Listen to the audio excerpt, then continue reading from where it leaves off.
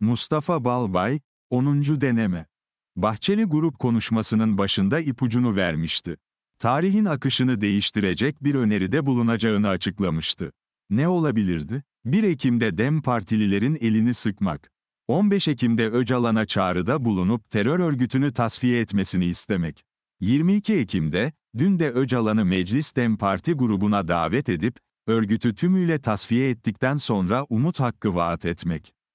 Üç hafta içinde giderek yükselen bu çizgi Bahçeli'nin rastgele konuşmadığını, perde gerisinde pişmiş bir yemeği usul usul koklattığını gösteriyor. Diyelim ki, üst üste 40 düğüm olmuş bir konuya yaklaşırken önce en üst düğümden başlamak gerekir. Bahçeli belki 20. düğümden başladı. Bunun adının açılım olmadığını söyledi. Haklı. Açılım ötesi bir durum. O kadar ötesi ki böyle bir konuşma yapmayı dem bile düşünmezdi. Erdoğan'ın Bahçeli'ye destek vermesi, daha önce sorduğumuz ne pişiyor sorusunu güncel kılıyor.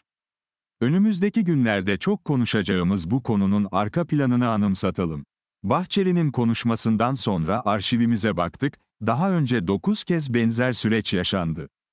Adı kimi zaman ev dönüş, kimi zaman barış süreci oldu. Hepsi yasayla yürürlüğe girdi. İlki 5 Haziran 1985'te Özal tarafından çıkarıldı. 1984'te başlayan PKK terörünün 3-5 çapulcu işi olmadığı görüldü. Yasayla teröristlerin dağdan indirilmesi hedeflendi. 157 kişi yasadan yararlandı. İkincisi yine ANAP tarafından 25 Mart 1988'de çıkarıldı. Adı, Topluma Kazandırma Yasası, YDI. Hedef binlerdi, 359 kişi dağdan indi. Üçüncüsü Nevruz'a denk getirildi. 21 Mart 1990'da eve dönüş yasası olarak çıktı. Sayı 152 idi. PKK uluslararası bir güç oluyordu. Dördüncüsü Demirel İnönü hükümetince 26 Kasım 1992'de çıkarıldı.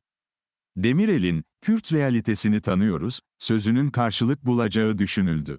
393, rekordu. Ama hedef dört haneliydi. Beşincisi Özal'ın ölümünün ardından Demirel'in Cumhurbaşkanlığı, Tansu Çiller'in başbakanlığında 28 Şubat 1995'te çıktı. 409. Bu terör örgütüne yıllık katılımın bile altındaydı. Altıncısı Öcalan'ın 15 Temmuz 1999'da Türkiye'ye getirilmesiyle oluşan iklimde 26 Ağustos 1999'da Ecevit hükümetince çıkarıldı. En yüksek sayıydı ama 562, YDİ. Yedincisi 24 Şubat 2000'de denendi. Sadece 8.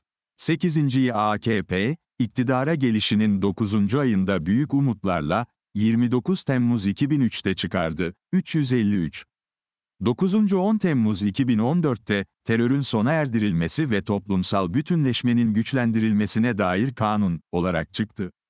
Ertesi yıl AKP seçimi kaybetti ve tam tersi bir süreç işlemeye başladı.